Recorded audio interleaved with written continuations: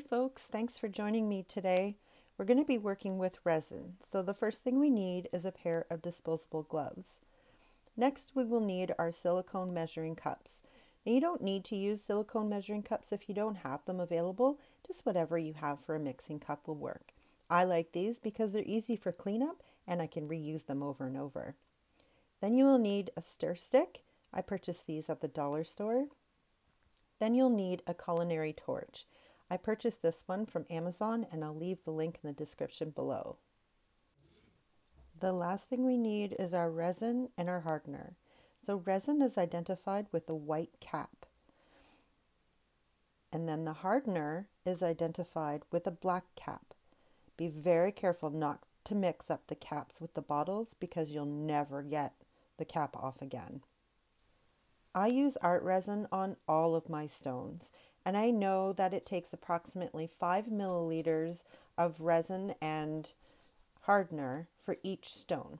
So that means I have to measure out 2.5 milliliters of resin to 2.5 milliliters of hardener. Then you have to mix these for two minutes.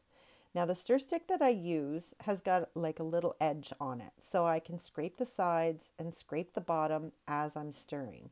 It's very important to get it mixed up as evenly as possible so that you don't have any problems later on.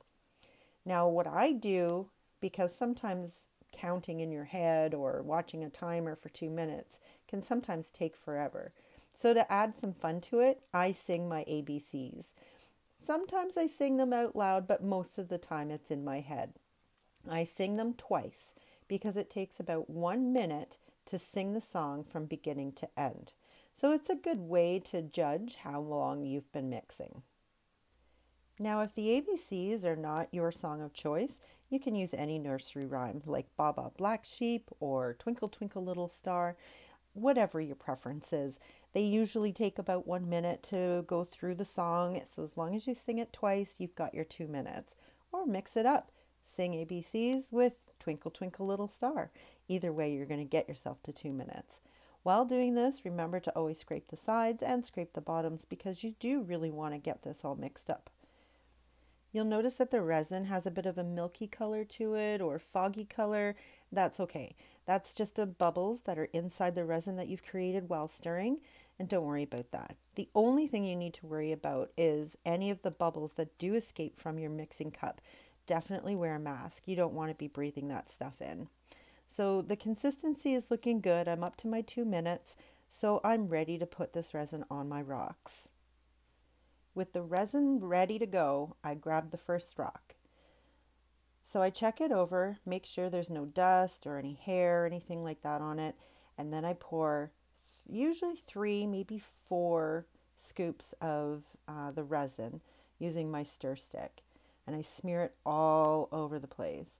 Now this one has gems on it, so I have to make sure that the resin is in between each of the gems and around them, so that way there is no break in the resin whatsoever. Then on the back, I just grab a, a smaller scoop and I rub it all over the back. I'm not too concerned, I just want it covered, but I want the top to be thick and vibrant because once it's dry, it's supposed to look like glass. I use the red mini solo cups for my rocks to cure on they're perfect little stands to keep them up off the surface and allows the resin to dry evenly. I use my culinary torch to pop any of the air bubbles that have risen to the surface. I will likely do this once or twice more before I let it cure overnight. I cover it with a cake topper that you get when you buy a cake from the grocery store. This is to avoid any dust or hair setting into the resin. Well, it's been 24 hours, so let's see how this worked out. I take the little red solo cup off and it leaves a little ring on the back, but that's okay because I cover that with felt. The front is what I'm concerned about and it is so smooth it's like glass. Cleanup is going to be so easy because I left the leftover resin in the cup to cure as well. And because it's a silicone cup, I can turn it inside out so that I can clean the inside of the cup. Now these sheets, they're very, very thin and are very staticky, so they sometimes can get messy. But I just keep working away at the cup until eventually I get the bottom pulled out. And there you have it. It's all one piece, comes right out, and is ready for the garbage. And for the final step of cleanup, I grab some duct tape. This stuff is great.